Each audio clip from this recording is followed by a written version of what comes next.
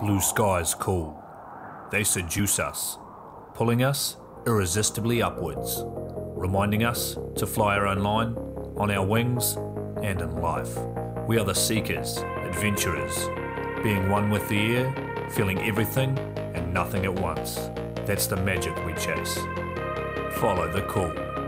Find your pure wild flight with NZ Aerosports. Coming straight from the cockpit, it's another episode of Lunatic Fringe with the fucking pilot. All right. Ready, set, go. Back in the can for another edition of Lunatic Fringe Into the Void. Only the second person ever to be in the studio. So, uh, welcome. Thanks. But who the fuck are you and what do you do? uh, name's Simon Whittle from the UK, and uh, yeah, now a professional skydiver in the Middle East. Nice. Nice. So, you jump out of airplanes for a living. Exactly. Yeah, tandem video, do AFF as well now and then, and uh, a little bit of free flight organising. Nice. Yeah. So, kind of the whole mix of everything. Exactly. I'd say cheers, but you can't drink. You got Correct. stuff going on. I bought you the beer. A skydiver that turns down beer for fuck's sake. Well, I'm going to drink. You, dr- you drink away. So, um, as is my normal with the show, I jump everybody back to the beginning of their skydiving career, Yeah. how they got started, what they were interested in, and and uh, uh, any other extreme sports that might have aimed you in that direction. So, how did you get started in the sport? Um, well, yeah, I used to do like skateboarding quite a lot and uh, like mountain biking in the UK, like downhill and dirt jumping. But I'd always wanted to skydive, and then it was my 16th birthday. I got a tandem, and that was just like, yeah, this is awesome. I. Really? want to do this. Yeah, and you did that in the UK. that was in the UK. Yeah, Pretty hard place to become a skydiver, though, isn't it? correct. Yeah, and because I chose to learn it while at university, it makes it even harder because that starts in September, which is the start of winter. Oh Jesus! Yeah. So yeah. at university I joined the club, and it's massively subsidised in England for that. And uh, yeah, I started doing the first jump with static line out of an Islander. I don't know if you remember that plane. Uh, yes, yes. What is I'm, that? show, I'm showing my age. That's one of the only things slower than a Cessna at altitude, isn't it? Horrible. but I didn't know any better, right? sure. So everyone was like, "Oh, it's slow." I'm like, I'm pretty excited about jumping out." So- Right. Um, and then yeah, started doing the static line. I got up to dummy pools. I think I did my. I didn't do my first free fall though because it went into winter and the weather was so bad, and I kind of got a bit bummed out by the whole thing. And then also because of university stuff, I didn't have any money or any of that. Sure. So I actually stopped doing it for a couple of years. Oh, really? Yeah, but then I joined. Um, it's a thing called the University Air Squadron. So it's kind of like the RAF Voluntary Reserve Okay. and they do free adventure training. And part of one of the stuff they did for free was skydiving course. Really? Yep. So very luckily, in my third year of university, I went to a military drop zone and finished the whole static line course there. Place called Netheravon in the UK. So the static line, uh, I'm uh, I've had Junior on a number of times, and he used to be a static line instructor, and I know the basics behind it. But I'm a tandem Yeah. kid, you know. I mean, I did my first uh, uh, three jumps were tandem because I did the AFP program, Okay. um, which was for me a super easy program. You do the Yeah. tandems where you're pulling and you've got shit to perform, and of course we know now as instructors that the student trying to do the turns and all that stuff doesn't do much, but you know he's Yeah. doing the level. But the static line how does that transition into because just doing the the delays you're not really learning how to fly your body no, it's pretty crazy now. I don't, I don't know if anywhere still does static line. i don't know But at the time, they I think they just started doing AFF in the UK. But this was just the way people learned. It may have been a hangover just from the military Sure. time.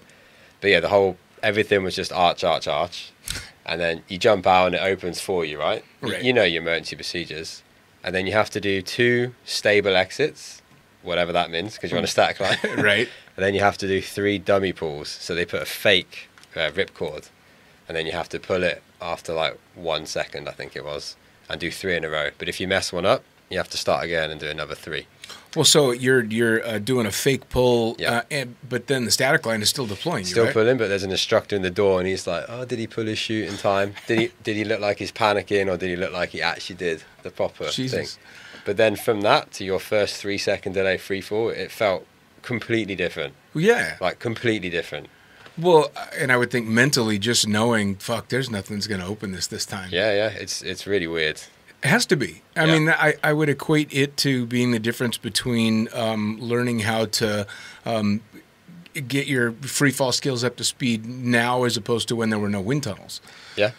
I Yeah. mean, it just seems the natural progression now is you're going to go learn some of the basics in a wind tunnel and then take Yeah, it to the true. sky. But I mean, wow. Yeah, because and I think it, from a safety, like you could probably take someone with zero training, close their eyes, and throw them out on a static line. It's going to be fine. Yeah. like they're going the parachute's going to open. So I guess that was maybe their rationale, but it does not prepare you for free fall. So you do three second, then five, and then you do ten seconds with turns. And I just got into a mad spin because I'd never been in free fall.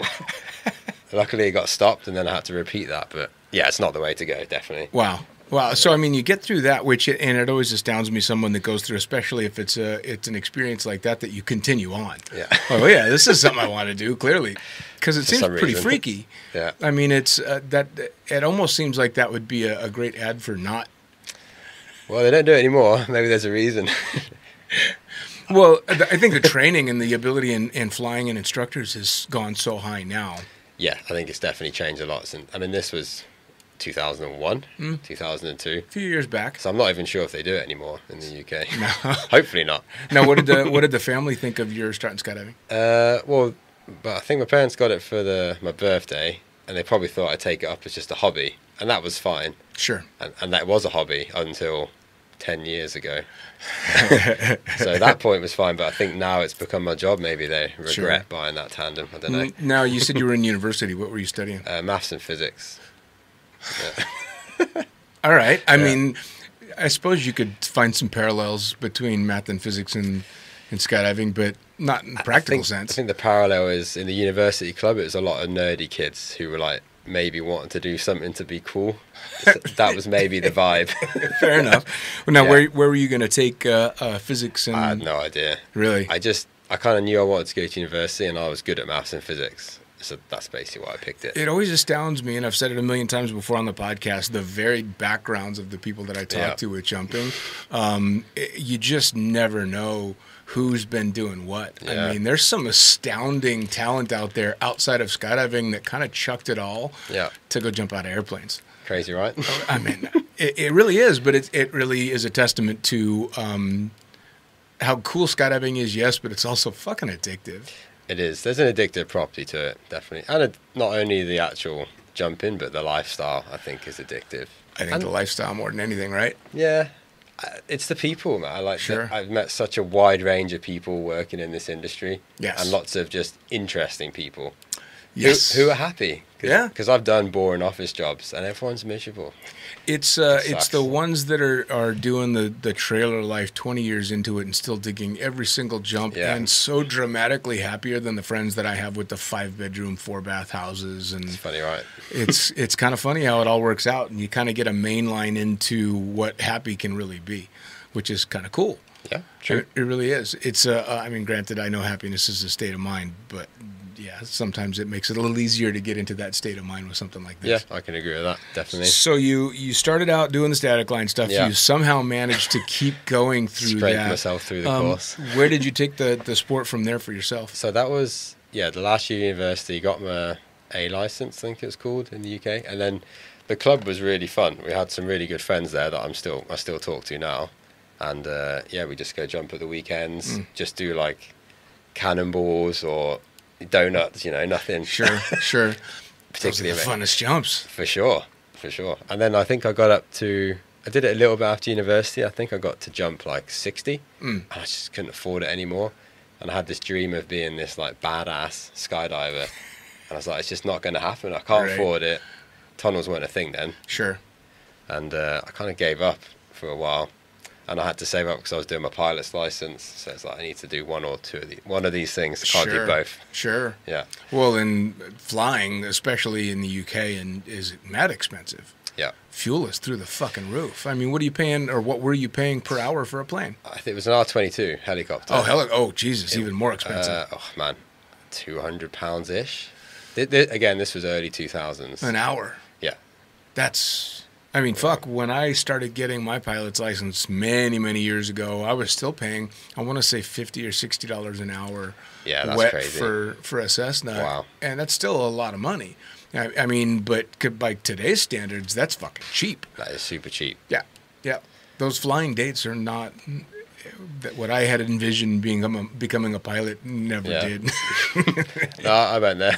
yeah. yeah, yeah. So you did the you had to pick jumping or flying, and you chose flying for a while. Ki- kind of, yeah. It was there's some other bits and pieces in there, but pretty much, yeah. And then um, the school I did it with had a deal. It was like if you did your PPL and your hour building there and your CPL, they would substitute that, like uh, help pay for it, Okay. and then you would work for them afterwards for free. Sure. Which is awesome because you guaranteed Sure. work, build up your hours, and also subsidizes your training. Yeah, yeah. So yeah, I did that over the space of two or three years, while also doing like some office jobs. I worked in a call center for six months, cold calling people. Really? Yeah, What were and you that was- selling? Uh, it was like a data entry program, I think. I tried to wipe it from my memory, I think. um, but yeah, that was. I remember sitting a few times like, what am I doing? But Yeah. like I was chasing the dream of being a pilot and stuff. So it is what it is. Yeah. And then eventually got the commercial license, and then that was my job for like four years. So you flew. Yeah, through helicopters. Hmm. What type of flying were you doing? uh, Jet Ranger. I was flying like tourist flights around Wales, which is in the UK, and people to horse races and business meetings and shit like that.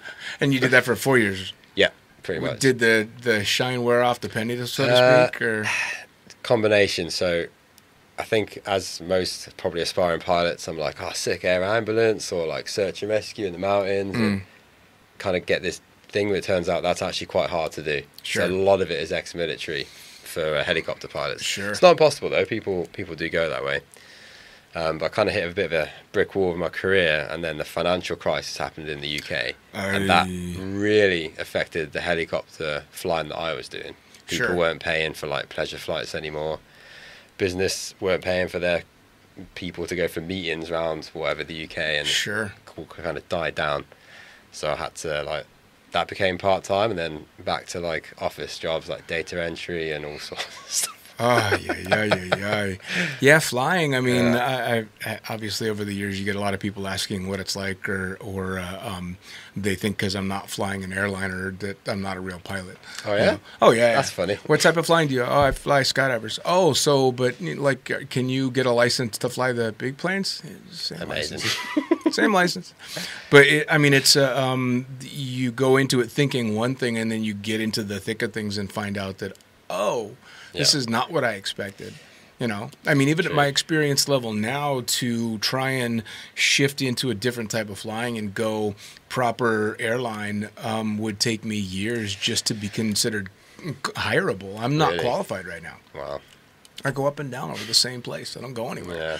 you know uh, so it's tough right and especially after a financial crisis when nobody wants to pay for the toys Yeah. Exactly. fucking hell And aviation's such a like right time, right place kind of thing. If you ride the right waves, it can be an awesome career. And I Oh, did yeah. have a lot of fun flying, sure but it was just a few things added together, and it kind of started going downhill. now when did you decide it was time to go back to jumping Well, so actually, I was when looking for a part-time job. I started working at an outdoor assault course, a bit like Go Ape. I don't know if you have that in America. It's like Yeah. in the trees, whatever. sure So I used to rock climb a bit. cool So I was doing that, and then my friend Mike, who I used to skydive with, Mike Brigg, uh, he got a job at the new wind tunnel in Manchester, oh and I didn't know anything about wind tunnels. Right. I'd, I'd kind of pushed skydiving aside. I missed it, but almost didn't want to talk about it. You know, Mm, in denial that I'd let my dream go, whatever. yep, yep.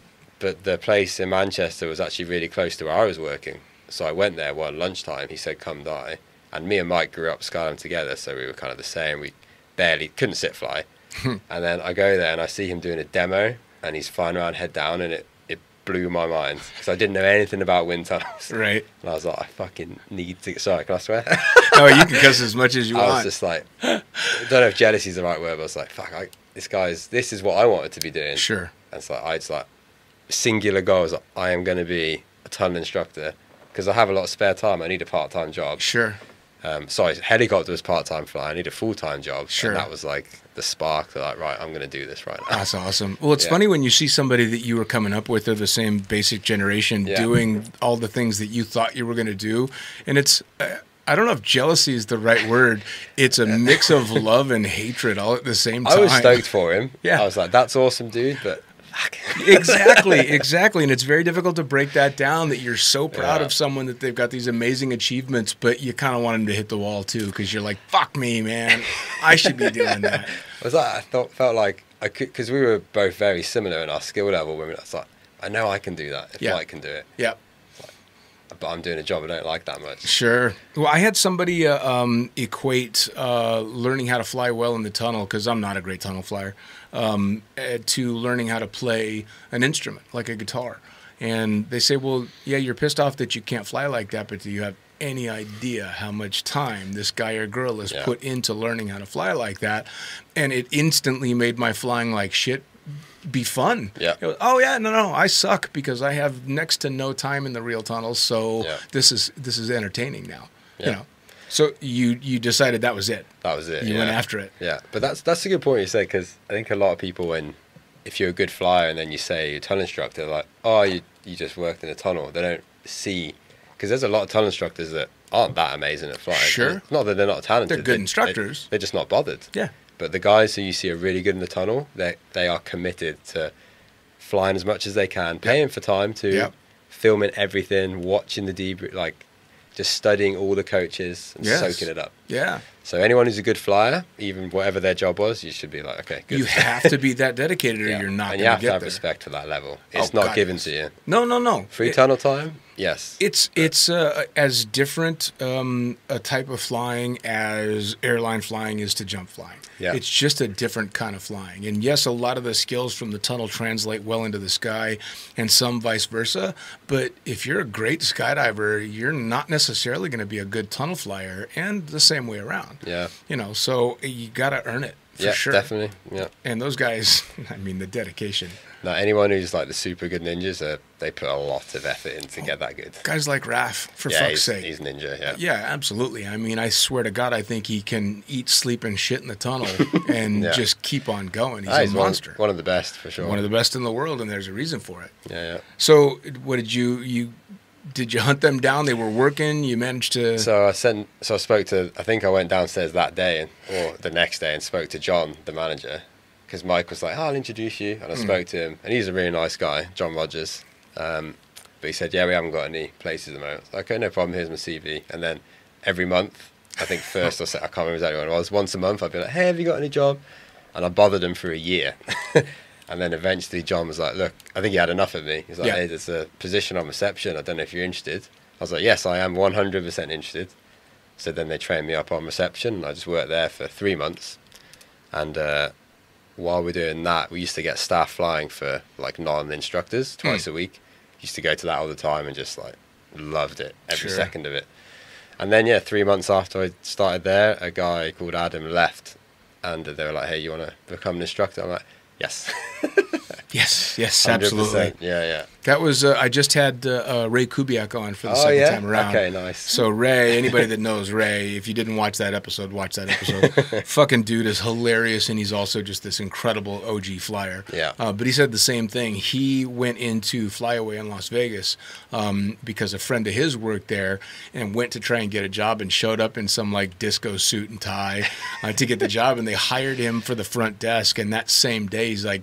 I want to do this. I want. I want to work as an Yeah, instructor. yeah. Same fucking thing. Yeah. yeah. So he pushed his way in there as well. That's now the it. modern uh, uh, instructor training's pretty hardcore, isn't it? Yeah, and it was used to be more hardcore. Really? yeah, they've calmed it down a bit now. So I was kind of I did mine right at the end of the what I thought was too hard. It used to be basically beating people up for like a month in the tunnel, pretty much. I mean, you'd get good instructors afterwards who are very strong and good at spotting. Sure. But it was it was too much. And then it, now it's much better. Like yeah, it's hard training because you got to be fit and it is pretty dangerous. You know, it's a hur- Sure. hurricane in a tube and uh, you've got to put yourself on the line. If you take like I don't know, like some old woman in there, pretty frail, Yep. need to be willing to like get in the way and catch them and stuff Sure. like that. Sure. So yeah, the training is it's really good. It's like a month, and we used to do it overnight. So I'd do that, and I'd also work reception at the weekends, which was just killer, but I had to because I had to pay rent, whatever. Yeah, you got to get it done. Yeah, and then yeah, qualified as instructor, and then the next day I did a reception shift, even though I was a qualified instructor, and then I started being an instructor, and it was awesome. I loved every second of it. Now that was. Uh, um, w- correct me if I'm wrong, but the rating starts out as you're taking people off the street. Uh, Yeah. Initially, and then you get more and more qualifications to learn how to work with Correct. flyers. Exactly. Nice. Yeah, it's changed a bit now, but when I did it, it was I was a level one instructor, so first timers, and teach belly and back fly. Okay. It's kind of funny because I could barely back fly myself.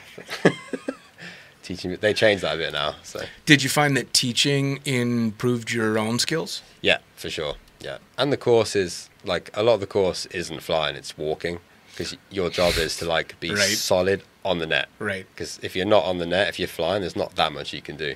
Where if someone like flips upside down up high, you need to be able to get there, catch him, and be strong on your feet. Sure. So loads of walking, lots of drills, moving around the tunnel fast, lots of catching, and uh, that's kind of the bread and butter of The- instructor. the walking it's the i'll fly in the modern tunnels now and i'll have a lot of fun and i can get up on my head and and uh, uh, from the net and and uh, sit fly yeah. And i'm finding all of that and if i cork i can recover i can Yeah. fly on my back so it doesn't matter how bad that is that's fine it's the getting out the fucking door Yeah, yeah. every single time okay do you see the lights going and they're waving at you and i'm like here's where i'm gonna fuck it up again and i've done backflips into the wall Yeah, and man. everything you can think of just trying to get out the fucking door Door's a dangerous place.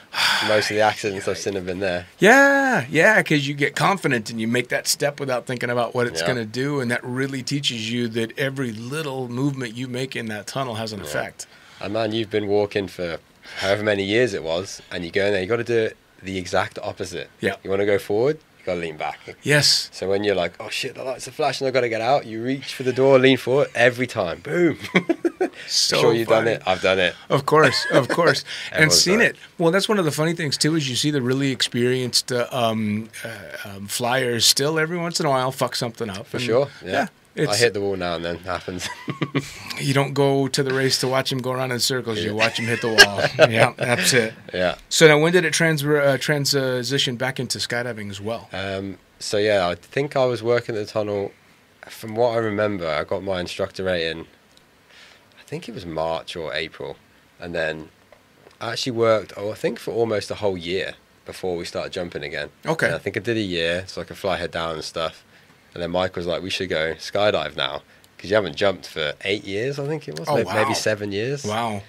and we'll go out and we'll do a head down jump first. I was like, all right. so we went back to our home drop zone, Cark, in the plane with a, with a massive rig. I'm not sure they knew what we were going to do. Right. But yeah, we just hucked the head down exit out and we just carved around on the heads and it was like a daydream. I was like, I can't believe this. This is this was the dream and I've not skydived at all to get Wow. here. It was like Isn't it that was crazy awesome. though? It is crazy. And it felt fine. It was it was awesome. There's part of me, and I've used this analogy before, that jumps back to the old uh, skier versus snowboarder. I hate those fucking guys. Get off my mountain. You're destroying Yeah. my moguls and all that stuff. Um, and then the raw appreciation for being able to do something like that. Uh, and again, it's it kind of clicked when I realized how much goes into becoming a good tunnel flyer. Yeah. And it took a little of the sting out of the fact that some guy with 50 jumps just outflew me. Yeah, yeah. And I've got thousands of jumps at the time. Yeah. Um, but when you break it down to one minute at a time, he's up there and jump wise. You know, Yeah. At ten thousand jumps, if somebody with three thousand jumps came out and out free flew me, it wouldn't bother me that much because Yeah, you'd assume yeah. that's all they did. But when you got ten thousand jumps and somebody with two hundred jumps comes Yeah. and shreds you, you're like, "Look, motherfucker, this is this shit's not cool." But then you realize, you know, you get it to fly in the modern tunnels and realize, okay, no, an incredible amount goes into learning how to fly well in the Yeah. And there's crossover on like uh, so rock climbing. That used there used to be no indoor rock climbing, so you would cut your teeth Sure. outside. And these guys who are like gnarly and strong took a lot of time to get there. Now you see like a 15 year old kid who's been in the gym for five years, who's Yeah. way stronger than I'll ever be. Yeah. And I could catch myself being like, this motherfucker. but then I'm like, hang on a sec, that's exactly what I did. Yeah. It's exactly what I did. Yeah. And there'll be something when I'm older that the skydivers do that we don't do now. And I'd be like, man, I wish I had that. Yeah. And I'd be like, bastards. Yep, yep. Well, the, It's the just that's our life, eh? for sure. Well, and the biggest favor I did for myself is realizing that it's not only okay to suck; it's it's fun. I like knowing that chances are I'll be the one to fuck up the skydive we just planned, because it takes the pressure off. Now I just get to go have fun. Nobody's looking to me to lead anything. As long as I'm safe, whatever. Yeah, It doesn't matter. It doesn't. So y- you go out and you make this jump, yeah. and obviously you're doing quite well with that. Now, Yeah. when did you decide? All right, I'm going to do both. I, now it's time to get back into jumping and putting gear together. And Not a huge amount. I wasn't getting paid a great deal in the tunnel. That that's just tunnel. that's just the way it is. Sure. And I lived in Manchester. The rent wasn't super cheap, um, so I didn't jump that much. We went to Spain once, skydive Spain, like four or five of us from the tunnel, I did like my hundredth jump there. I remember. I actually remember we. I was in the about to take off. I had 99 jumps, and they were like, "Oh, it's a hundred jump limit." I was like, "Well, technically, when I jump out, it's my hundredth jump, jump. so that means that's okay." and it was Mishka was there. She's like, "Yeah, but do you think that's sensible?" I was like, "All right, Mishka." so I didn't jump. That's actually pretty good though. yeah, no, it is. I was just being a bit cocky. But yeah, the next day I did my 100th jump. And then I think I got up to about 120 jumps. And I've been in the tunnel two and a half years. But the weather's awful in England. The amount Mm. of times I went to a drop zone and didn't jump. Sure. And I could fly in the tunnel like any any weather, any time. Sure. Used to get, I think it was £30 for 10 minutes. So it's pretty cheap. Wow. Yeah. Wow. Just go buy time. Fly yeah, around. for sure. So yeah, I didn't jump that much in the UK actually. I probably got less than 100 jumps in England. That doesn't surprise me. Yeah. That's why so many fucking Brits end up in the states working. Yeah. I don't. That's when I first discovered uh, um, how many illegal alien uh, British there are running around the United States. When I got into skydiving, and all of them were like looking for wives or or this or that. or- Yeah, yeah. That's fucking funny. yeah, yeah. So, sure. um, what'd you do? You decided it was time to move on from England. Um, so I was doing full time tunnel and then part time helicopter flying, and then um, my friend Mikey Davey, he moved out to the Middle East. My bad. Back in the day, the first time, the first tunnel in the Middle East, it used to actually be run by Airkix, the company I worked for, Okay. and their instructors would come out for six months at a time. And Mikey was one of those instructors. So back in the day when that was happening, he knew all the people here. Mm. And then they kind of got a choice. I think they got offered, right, you can stay here. We're going to, Airkix isn't going to run it anymore. We're going to run it ourselves. Or you can go back to England and do that. And he went back to the UK to be the manager or assistant manager in Manchester. Okay. Okay. But I think he regretted that. And he was friends with one of the guys out here. And he Mm. eventually managed to get his job back here. Nice. So then he was working here. And then I came to visit him on holiday. And it was similar to when I saw Mike in the tunnel. I was like, wow, this place is pretty cool. Nice. Huge nice. tunnel. Yes. Staff were cool. Yep. And uh, yeah, the guy Freddie, the boss, was like, "Hey man, I, I kind of want to work here." I had an impromptu interview right there, and then uh, yeah, he said no, there's no spaces. And funnily enough, a month after I got back, someone quit, and he said, "Hey, look, do you want to come out in a month?" and then he said, "Don't tell me now. Think about it because it, it meant giving up helicopter flying. Mm. I, I didn't know much about aviation here, but I was under the impression it'd probably be quite difficult Sure. to carry on the flying here." Sure. So that was a bit of a toss up. But I remember my dad was saying, let's go at least for a year. If you don't like Sure. it, come back. But you'll kick yourself if you don't try. Of course, of course. Well, and and I mean, flying is so weird nowadays. Anyway, um, even for you know established pilots all around the world, especially with COVID and everything that's going yeah, on. I can the- imagine. The, yeah, having a career in aviation is pretty difficult. But I mean, Yeah. you're how old are you? 36 now. So still young, for fuck's sake. I Yeah, mean, if you want to go back to flying, oh, dude. I mean, if you want to go back to flying, you've got years before you Yeah. need to really start thinking, I need to go back in that direction. So why the fuck wouldn't you, you Yeah. know, take gigs around the world and and start working that way? yeah. Now, when did uh, um, you, you worked in the, the tunnel in the Middle East and then decided to? You were obviously jumping more. Yeah, so part we used to get, uh, I think it was, yeah, five jumps a week for free Mm. at the drop zone, which is crazy. Working in the tunnel, getting free skydives. Sure. So I used to just start doing that, and it it would just completely change when it's sunny and warm. I'd only ever jumped in like not very good weather, and was used to sitting at the drop zone for hours. Sure. So it was a complete mental shift, and I was like, "Yeah, you want to do seven jumps a day? Like, really?" And then everyone here was so good and nice. Like there was so many sky gods here, Right. but n- not no arrogance. They were just super stoked to help, and yeah. I was like, "I can't not jump here. I've got all these people around." Sure. Sure. And yeah, they'd come fly in the tunnel, then I'd come jump in the sky, and I'd just yeah, just jumped as much as I could while working in the tunnel. Oh, you can't beat that. Yeah, Well, then with the rock awesome. stars that you'd have access to, I mean, guys like Omar jumping all the time, and, Yep. and uh, Olaf Zipser was here for quite a while. oh, and- the OGs. Absolutely, you know, I mean, the originals, and then Team Airwax coming through all the time, and the Yeah. current world fucking champions at the time coming Yeah. through. And I mean, how do you not, you know, take advantage of that talent if you can? yeah, I'm excited. I was getting a lift to the tunnel with uh, Noah Bahnson. Mm. I I had no idea who he was, so he's giving me a lift. He's like, "Ah, I said you jump." I was like, "Yeah, I do." And I was like, "You jump a bit?" He's like, "Yeah, I jump a bit." Just super mellow. And then we struck a base jumping. I didn't know anything about him. Yep. And I was like, "Have you base jumped?" He's like, "Yeah, I've done a bit. I kind of like it, yeah." And it just he was so cool about it because he could have been, "Yeah, I've done all. You don't know me, blah blah blah." Right. But he was so chilled. And then I found out later who he was. Like, ah, that, that's awesome. Isn't that funny? yeah, Well, that it's, was all, it's great though. well, and I, I think they also kind of know that uh, oh somebody's going to clue them in on that. Uh, we had a ground crew person that didn't know who Omar Alhegelan was. Okay. And I'm like, well, that's Omar. Well, yeah, who's Omar?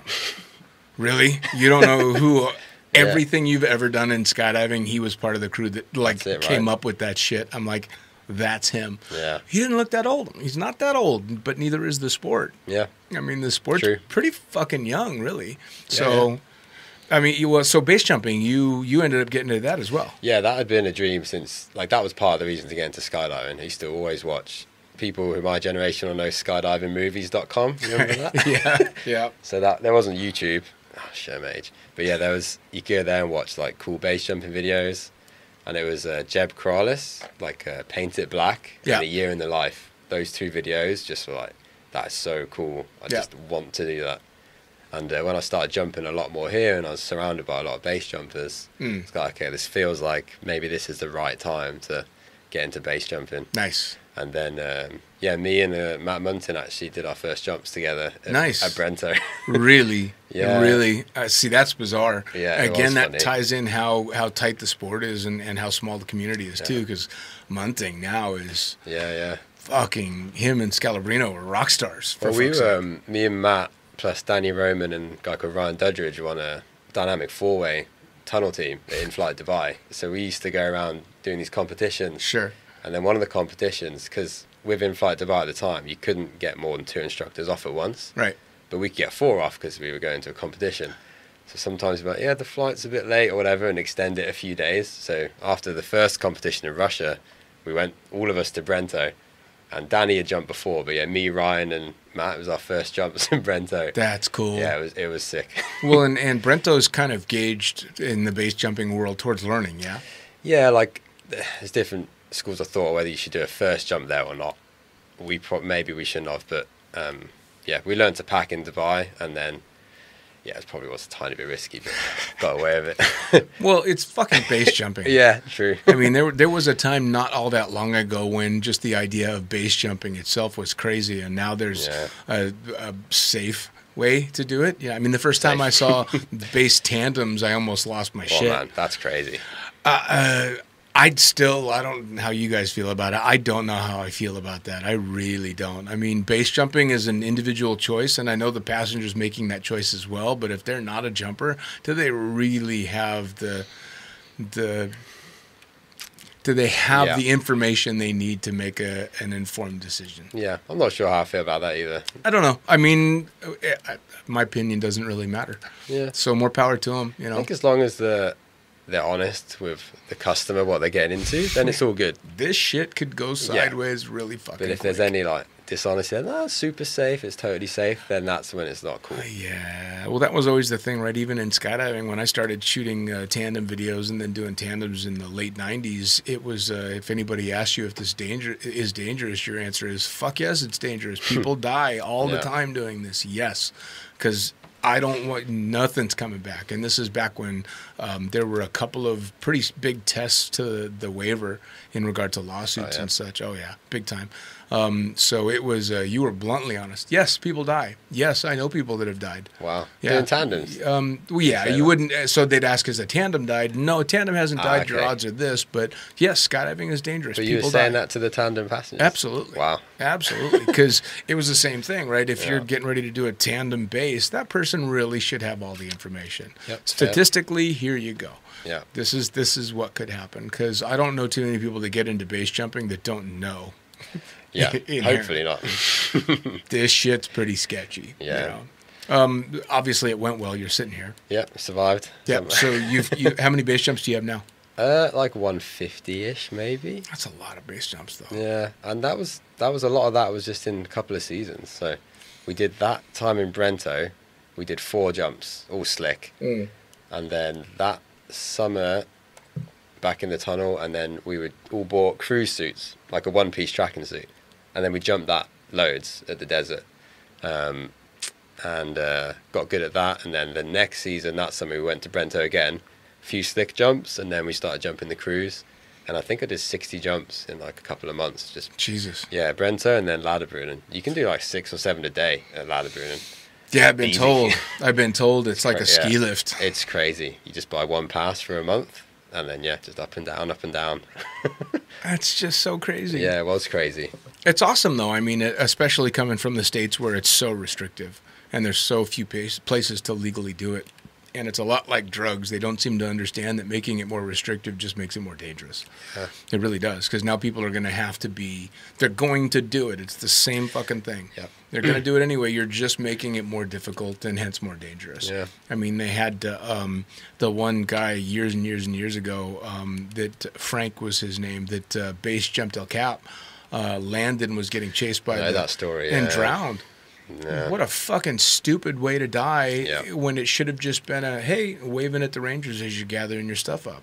It's, Yeah. it's just ridiculous. So it's unfortunate that it's pushed to that level because it's still got this stigma behind it, and Yeah. people climb and, and die in, in the valley all the goddamn time. Yeah, Climbing is climbing is just as dangerous in my in my Yeah. opinion. it can be. Yeah. Like for sure, some types of climbing, like uh, like free soloing when you're without ropes. That's probably similar to how base jumping is to skydiving. Yeah, Uh, you can climb reasonably safely, as uh, you can skydive reasonably safely. Yeah. But free solo is like yeah, it's like base jumping. It's pretty dangerous. Yeah, skydiving now, honestly, you try and tell people and they'll ask how dangerous is it and you as a longtime skydiver, I the standard every day gonna go out and skydive heads up jumper is pretty fucking safe. Yeah. Really is. You and know, the I mean- like as good as it's gonna get. Maybe Oh now it's amazing. God. Well, and now the innovations that they come up with, I've had a lot of the uh, uh, the NZ Aerosports crew on, um, talking about designing the canopies and Yeah. stuff, and how much further th- can they go. And Julian's like, long way. Yeah. So I'm. It's- Part of me is terrified to see what they fucking come up with next Yeah. because it's already nerve wracking watching modern canopies coming down. Yeah, they're crazy. Oh my god! And when you see someone on a proper swoop from a distance, and the canopy and and the pa- the pilot are just at the same angle going Yeah, balls man. out, that's some insane stuff. Yeah, it's full on. Yeah, yeah. Well, but still, uh, well, uh, so you kind of went old school as well recently. You Yeah. were you were strapping a board to your I feet. did. I started sky surfing for some Fucking reason. Fucking hell! What spurred that interest? I wish I could remember. I think, I think it was a TV advert at some point as a kid. I don't know. What, I don't remember exactly, but I just always thought, man, that just looks really cool. And I used to skateboard a lot, so maybe that was also part of it. Mm. Sure. And snowboard. It's like, yeah, I just I can do the board sports. I might as well take it Sure. into the sky, kind of thing. Sure. And um, yeah, I never didn't have an avenue into it, but I actually sold a canopy in the UK. Yeah, that's right. I remember now. I sold a canopy to a guy called Dave in the UK, and he came to pick it up. And we were just chatting, and he used to be a sky surfer. Oh, I was like, oh, I always wanted to get into that. And he's like, well, dude, I've got an old board I don't use. If you want to come round to my house sometime, I'll show you the board, and I can give you some tips and all this kind of stuff. really? Yeah, so I was like, you know what? Sometimes that comes your way. Sure. So yeah, I went to his house and he it was a big board. It was like this big on the video, yeah. Yeah. Carbon fiber thing, but it had the bindings on, like the Dakine bindings. Sure.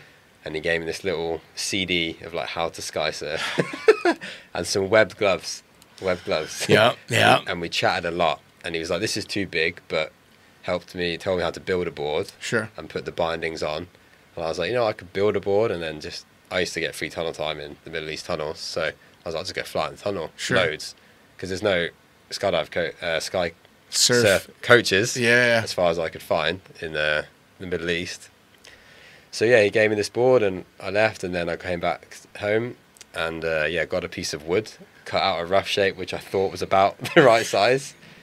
And so all my research, which was hard to find actually, Sure. a lot of it was you should have your feet like uh, like duck style Mm. for the first one, because then you can pull on your belly. Sure. I don't know why I decided not to do that. I did it this way straight away, but not on a very big board, like a wooden one, Right. maybe this much past the toe and the heel. I was like, sweet, got all the bindings, got it all sorted, and then yeah, went to the wind tunnel with it. And man, I scared the shit out of me. I was there with uh, Kai Kai Okay. in the private tunnel, and so t- wind off, went in on the net, and was like, okay, start turning it up, and there's like, oh my god, it's like a wild animal on your feet, and then the sit wasn't too bad. Sure. I was like, okay, this is okay. As soon as I went on my back, it was like someone holding my ankles, throwing me around. uh, man, ever since I have mad respect for anyone with 200 jumps. Oh, yeah. Who jumped one of those things. Yep. Like that's that's gnarly. Yep. That is not. I flew in the tunnel at least an hour or two before I even thought about taking it out of the plane. Isn't that cool? Isn't that cool? yeah.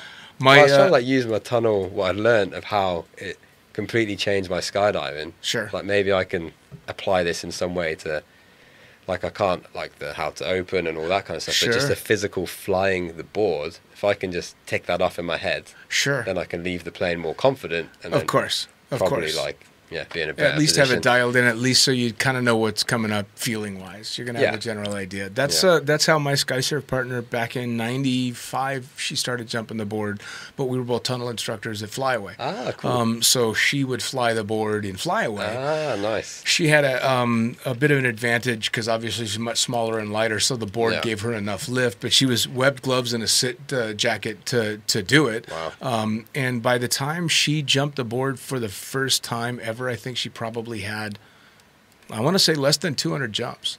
Yeah, that's, that's Um, crazy. Yeah, less than 200 jumps. And when she and I competed in '96 in the nationals, I think she was jumping.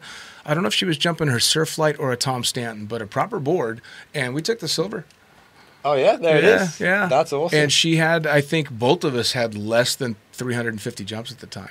I've seen an old YouTube video of you and her. What's her name? Uh, Mary Tortomasi. you and Mary, yeah, Yeah, yeah, yeah. When I was googling sky surf, I found Yeah, it. yeah, yeah. It's very strange. That's awesome. very strange. It's, it was super cool, but it was really neat, and it's still very neat to see people that are bringing the board back out and jumping it. I think I've seen Sean McCormick doing a few jumps Yeah, on it. some and- really nice videos of him jumping. McCormick, for fuck's sake. He, I think he's kind of what broke the sport. Oh yeah, He came up with the Invisible Man, which was Okay. such an intense fucking move Yeah. that it was. Uh, you need to be willing to do this move to score points, or you're kind of out of the running anymore. Oh, yeah. And it just kind of took it next level. You know, Okay. Some of them were duct taping their arms and stuff to stop Sean McCormick, yeah, the first time he did the Invisible Man, and uh, when he came out of it, he had to obviously extend his arms to stop the spin, Yeah. and he just blew out all the blood vessels in his hands and was blowing out the blood vessels in his eyes and stuff, and so it, he could barely feel the handle when he went to pull. So he was duct taping his arms so that he wouldn't blow everything out. I heard that and it was.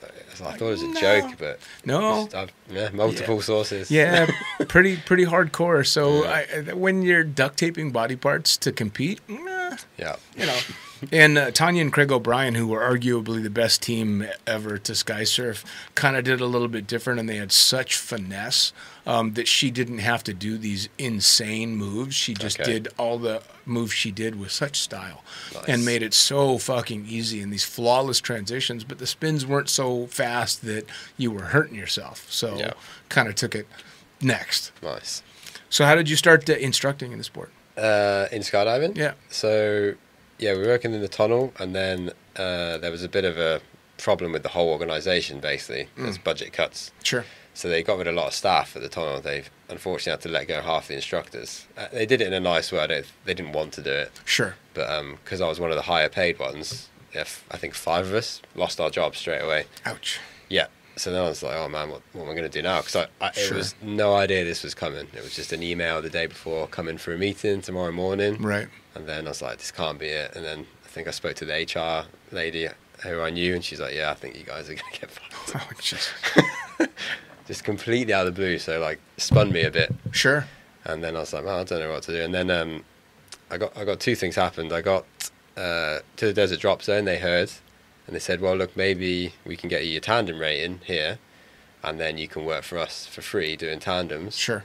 And then maybe something will come up. But everything was so fluid at the time with people losing their jobs and teams Sure. that it's no guarantee. Sure. Um, but my part of the when I got fired, my visa was still valid for three months. Mm. It's like, well, worst case, I'll stay here, do my tandem rating, Yep. and see what else kind of comes up. Sure. So did that, and then started doing tandems at the drop zone just for free, just to get experience. And at the same time, I had a friend who works in Australia for uh, Perth Wind Tunnel. And Okay. they needed a chief instructor, and they said, "Do you want to maybe come out and do this?" Oh wow. And then I was, I really thought about it because that's you know it's good for my career. Sure. Um, and then I had this job. Right, should I risk maybe getting a job doing tandems, but Right. maybe not, Right. or take this guaranteed job in Perth? So head was like, well, Perth, but heart was like, I, I really like skydiving. Sure. So I actually turned down the Perth job before I had a guaranteed job And then luckily at the uh, other drop zone, they hired me and Matt Munton. We- Nice. We, went for a team interview. so we went there to like uh, that film, I can't remember it's called, Big Brother or something. Yeah, I think so. Yeah. Yeah. Yeah. um, yeah, so we went there together for the interview, and the boss was like, "So you guys, yeah, yeah we come as a pair, so you're going to hire kind of both of us, and none of us." and we had we had like 30 tandems. Really. Yeah. But uh, this is a good sign for why you shouldn't ever burn bridges. So when when we lost the job, like we were really annoyed, and it's very tempting to shout at the bosses, "Oh, you, you suck, blah blah blah, I hate you." Sure. But there's never never any point. It's not their uh, choice to do it. It's just the way it is. So when we got the job, before we got the job, the boss rang our old boss from the tunnel because Hmm. they're best friends, which I didn't know. And they said, "Hey, Matt and Simon are here. Should we hire them?" And the guy, very thankfully, is like, "Yeah, they're really good instructors. You should hire these guys." But if we'd have told that guy to fuck off, he would have That's the end said, that. "Don't hire him." Yeah. Because of him, they hired us with like 30 tandems. But they would never normally hire someone with that little amount of tandems. But we've been work, we've been jumping at the Palm, uh, the Sure. Middle East for ages, so we knew everyone. We've been jumping to the desert. They knew us, you know. Sure. They knew we in the tunnel, so kind of worked out in the end. And then yeah, started. That was five years ago, December first. How crazy is that? five years ago. And then now I'm assuming thousands of tandems later, and Yeah, I think I had a thousand jumps when I started. I have eight thousand now. Jesus Christ, Yeah, crazy. man, that goes video. fast. Very fast, and that's with a big break this year in 2020 too.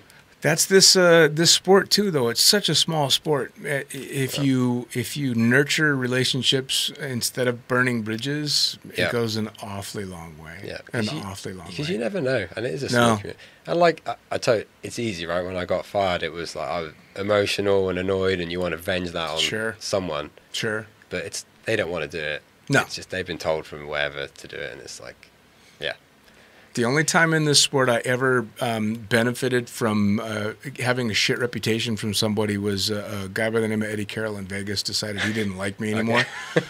And I didn't fucking much care for him. And I was trying to get a job at Cross Keys. And John Eddowes, by the way, for everybody watching, um, it was really sad to hear that John Eddowes passed. Um, and condolences to the family and everybody. It was, I don't know if you knew John. no, I didn't know. Jesus Christ, this guy built the drop zone that was. Oh, yeah? It will either be pleasant memories or haunt me for the rest of my life. It was that epic. Yeah, But uh, he got a call from uh, Eddie Carroll, uh, or pardon me, he called Eddie Carroll asking, "Hey, what do you think of this guy?" And Eddie's like, "Don't ever fucking hire that guy. he's he's a piece of shit." Blah blah blah. And, and John ended the call by saying, "Cool, thanks. I'm going to hire him right away." Oh, yeah? And this is the only reason he hired me is because Eddie Carroll said, "Fucking don't hire that yeah, guy." so thanks, Eddie. Appreciate that. Uh, yeah, Funny, hey? um, but for the most part, yes, you've got to nurture those relationships. It's just such a fucking small community that works in this sport. Yeah. And that's like I tried so hard to get that job at the tunnel. Yeah, And it, I remember because so I think three months after I got my instructor rating, they needed five new instructors, Mm. and uh, they got some of the guys and I was chatting to one of them. Oh, how would you get this job? He was like, I was, I was just walking by and I saw they said help wanted, and I just walked in and he got offered the job the week later. I was like, God, I hate you. you got Yeah. no idea what I went through to get Yeah. the job, but that's awesome. for sure. No, no, it really is. And well, and that's the other thing too is is you enjoy seeing people get breaks as long as it it's uh, a good person. That, you know, what I mean? exactly. Yeah. And, And- and we got a big break to get the job at the Palm. Yeah. Like, a lot of people probably thought that wasn't a good idea with the amount of experience we had. I've, I, yeah, shit goes either way, man. I've Yeah. seen really, really extremely experienced people shit the bed and Yeah. do a horrible job, and then I've seen low timers that are working so much harder to make sure that they do it right. Yeah. So it's kind of it, it depends on the cut- the type of person that you get. Yeah. Yeah, And they knew us on a personal level. We got on with everyone it's already. a huge deal. And then we knew they knew we were good at what we did. Yeah. And uh, Well, yeah. that's the thing. If, if you're going to mix well with the team, most of the stuff you need done is fixable if they're not up to par. yeah, most of it. Um, but if they don't work well with the team, then it doesn't matter how good they are; it's not going to work. true. So- Yeah, agree. So I always ask people towards the end of uh, every interview, and especially in your case because you've you've had so many different uh, angles to Yeah. getting into things. how do you recommend for first time jumpers that are jumping and thinking about trying to get into the sport working wise? What do you recommend they should be thinking about? Yeah. And for people that are kind of hitting that burnout phase and wondering if they should keep jumping, what advice Yeah. do you give to them? Um, I think yeah, for new people, if you want to work in the sport, you've always got to be a bit cautious if it's like your main hobby, working in your hobby. It can sometimes Sure. take away from that. So that's something you need to think about. But uh, yeah, jump as much as you can. Like talk to people who are experienced, you Yeah. know, who've been working in the industry. And uh, yeah, I think camera and AFF is a good way to start. Sure. And um, yeah, don't be in a rush. Like enjoy the early skydives. That's the best part. Yeah. Like if you can afford just to do it for fun, do that for a while. Yeah. Before you get into working in the industry. Cool. and yeah, if you're getting burnt out, get a sky surfboard.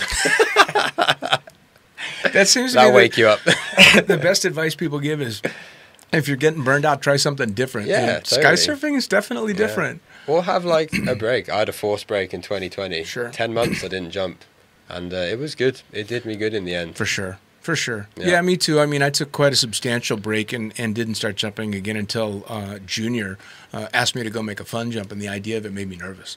Yeah. I'm like, ooh, skydive? I Yeah. had fucking, you know, 10,000 jumps at Oh, the wow. time. And I'm like, oh, fuck, that actually makes me kind of nervous. It must be time to go back and jump again. Yeah. And then I became an average level fun jumper, and that's all I ever want to be. Nice. Which is great. You just go out and, fuck, this is just fun again. Yeah. You know, I And I had to adjust that because I used to have to do the sickest jump, but now I can just go and do as long as I'm just doing a jump. It doesn't matter what it is. I'm having Yeah, fun. It's great. I don't need to be doing the badass angle with blah blah blah. no, Just go and have a laugh. absolutely. Well, I never carry a camera, so all my jumps are amazing anyway. Exactly.